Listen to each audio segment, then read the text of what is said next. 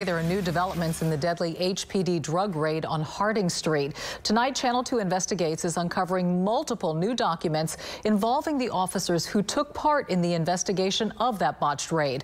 Channel 2 investigator Mario Diaz here now with the newest information. Mario? Dominica, this is information we first reported on an hour ago. These new warrants are taking investigators into the patrol station where two of the officers involved in the botched raid worked. The warrants from early February details how investigators within HPD's Special Investigations Unit searched the workstations of narcotics officers Gerald Goins and Stephen Bryant inside the department's Southeast Patrol Station along Mykawa Road. Investigators believed that evidence pertaining to tampering with a government document was on computers in their workspace. Aside from securing two computers, investigators also retrieved multiple flash drives.